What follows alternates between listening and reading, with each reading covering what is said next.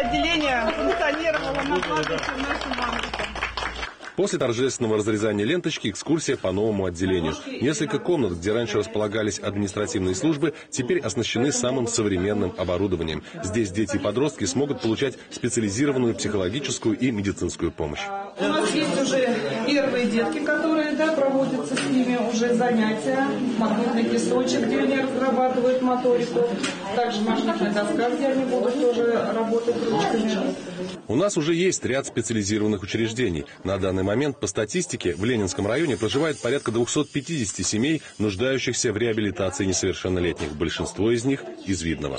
Да, у нас есть на территории Ленинского района федеральный центр детства, а на территории э, сельского поселения Молковского находится. У нас есть э, реабилитационный центр в городе Видно регионального значения. Вот такого местного, мы понимаем, что место, конечно, центральное, но ограничено по площадям, однако востребованность э, у родителей, у детей, э, в первую очередь тех, кто проживает в городе Видно, она колоссальна. Теперь и самим создателям этого отделения трудно поверить, что всего лишь в начале сентября это были обычные кабинеты бухгалтерии. Деньги на ремонт и покупку оборудования собирали всем миром. И, и наши денежные средства, и помощь, как вы слышали сегодня, администрация Ленинского района помогла нам, и партия «Единая Россия» помогла. И также мы работаем с благотворительными фондами, которые тоже в, свою лепту сюда внесли. Поэтому по чуть-чуть со всех.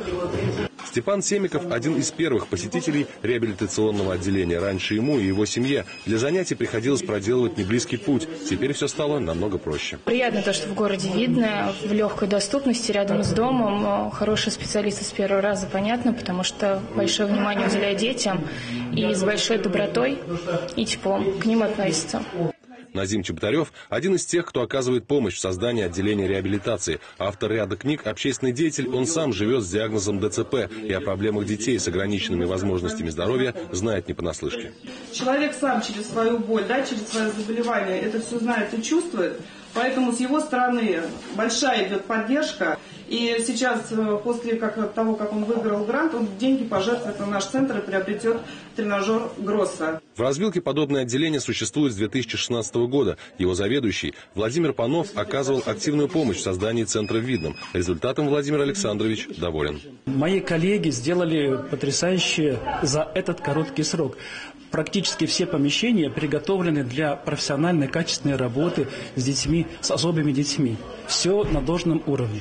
Несмотря на то, что уже в первый день работы отделение оказывает услуги для детей с ограниченными возможностями здоровья, ремонт и оснащение центра продолжается. Работа не останавливается. У нас идет сейчас ремонт по программе «Доступная среда».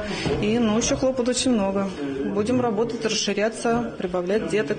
Сейчас у нас мощность на отделение будет 20, да, но по той динамике, которая есть, я думаю, что мы ее увеличим.